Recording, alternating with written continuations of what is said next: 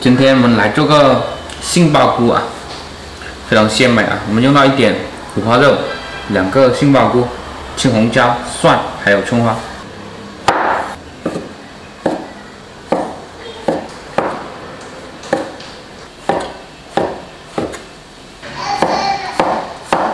蒜切片，小米椒切红圈。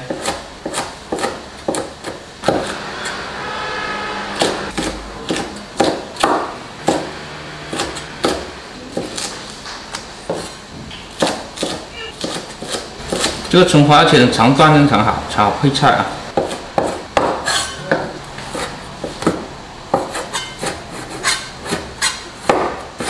切点五花肉啊。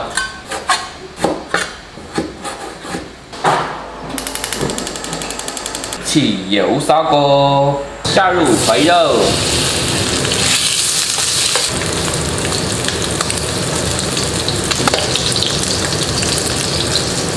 煎出猪油啊，这样才香啊！放蒜片，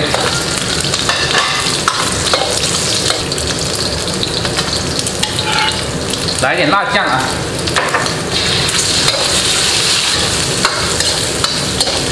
然后呢，放入这个杏鲍菇，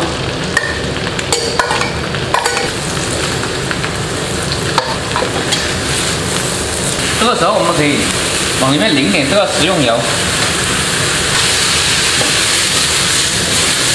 这个杏鲍菇啊，自己已经出汁水了啊。